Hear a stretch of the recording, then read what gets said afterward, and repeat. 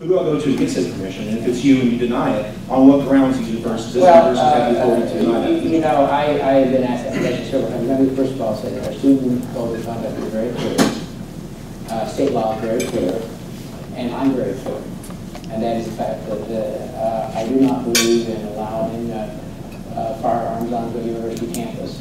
Um, you and I can debate that all day long, and, uh, we have good arguments, but I'm in charge, and we're not gonna do it. And so common sense, common sense in my, in my, uh, in my uh, view prevails.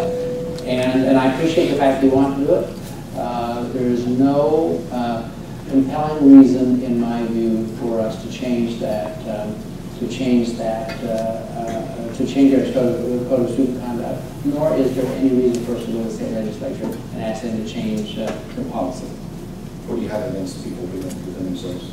Um, You know, I, I told you I'm not going to debate it. What I told you the fact that I have a very strong view, and you have one, and, and I love you for it, but I'm just not going to allow it. And, uh, you know, uh, I, I feel very strongly about it. I have an absolute, uh, um, view on this, and I've had it for a long time. I've studied the issue, I've looked at it. I'm a lawyer by training.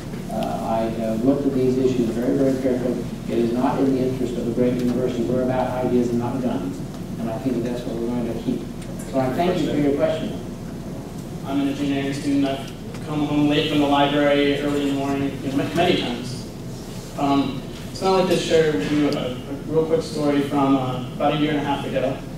Uh, I was traveling from my, my home on Summit 19th to a significant others on Patterson and Adams.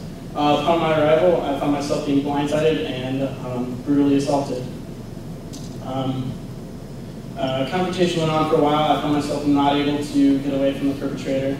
Um, I saw no other means to get out of the situation than to draw my firearm. Um, I am a concealed handgun license carrier. I carry often, I carry responsible, responsibly wherever I am legally allowed to do so. Um, and I, I make this journey not from my home, but from campus quite frequently um, to see my girlfriend. So it had been any other night other than, this was just after finals week of fall quarter a year ago, if it had been any other night of the week, I would have been coming from, from school, from the university, where I'm legally not allowed to carry, so I would have been unarmed. And I believe if this had happened during the week at that time, I do not think that I would be alive today because of the manner that I was being beaten and attacked. So with that said, um, with all due respect, uh, I would like to know why you believe you possess the authority to control the way that I choose to effectively defend myself after you just got done saying that you believe our students are responsible here and we act in responsible way. Well, I'll, I'll just say it very simply, I'm the president of the university, and I have the authority, and I'm going to exercise it, period. And, and, uh, and I've thought about this, and I'm sorry about your issue. It's a very compelling story, but uh, there are other stories that we've been told about irresponsible behavior uh, with use of firearms. So, uh, so um, I believe very strongly in this. I will not change my mind, and we will not have firearms on this campus, period. And, and I appreciate the passion of your we not.